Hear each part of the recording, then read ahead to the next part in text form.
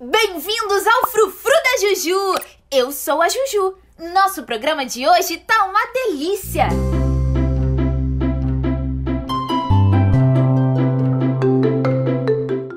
Eu recebi um montão de receitas. Vocês são demais! Dá pra fazer um livro maior que a Lume. Maior que eu? Duvido. Tem histórias que não se acabam aqui, Juju. Você sabe bem disso. Sei sim, Lume. Às vezes parece até meu baú de brinquedos, de tanta coisa que tem aí dentro. Receitas eu não tenho. Mas tenho histórias de cozinheiras incríveis para te contar. Isso eu também tenho. Sério? A minha avó é a melhor cozinheira do mundo todo. Ela aprendeu com a minha bisa, que aprendeu com a minha tataravó, que aprendeu com a minha. E sei lá como é que fala. Isso é muito legal. Foi passando de geração em geração o dom de cozinhar. Mas sabia que cozinheiro é uma profissão? Sim, sim, Lumi. São chefes de cozinha, né? Tipo o Bituca, o Master Cuca. Isso mesmo. O Bituca é um chefe meio distraído, mas os ingredientes super especiais. Também existe chefe de cozinha mulher, tipo chefa de cozinha? Existe sim.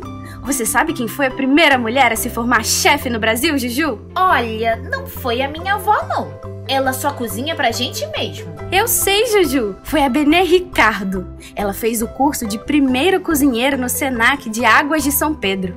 Era a única mulher da turma. Antigamente, as mulheres só cozinhavam em casa. Tinha até um ditado que dizia que o lugar de mulher era pilotão do fogão, Juju. Pilotar fogão, tá bom. Pilotar é pra carro, avião, naves espaciais. Hum, tô sentindo um cheirinho de ideia da Juju. Xiii, o bolo! Acho que a vovó se distraiu. Vovó! Ufa!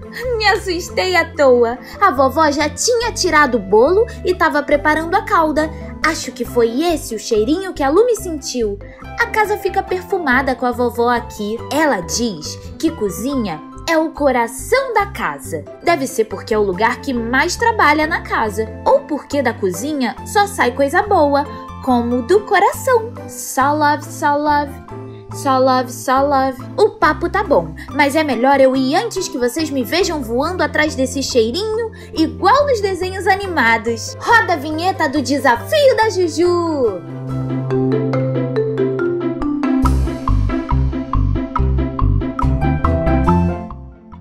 Acharam que eu ia embora sem deixar um desafio? Nananina não! Para aquecer para o nosso próximo encontro, eu vou deixar duas adivinhações. Um, o que é o que é? Voa sem ter asas e chora sem ter olhos. 2. Qual é o céu que não possui estrelas? Beijo! E se você souber a resposta, escreve aqui nos comentários!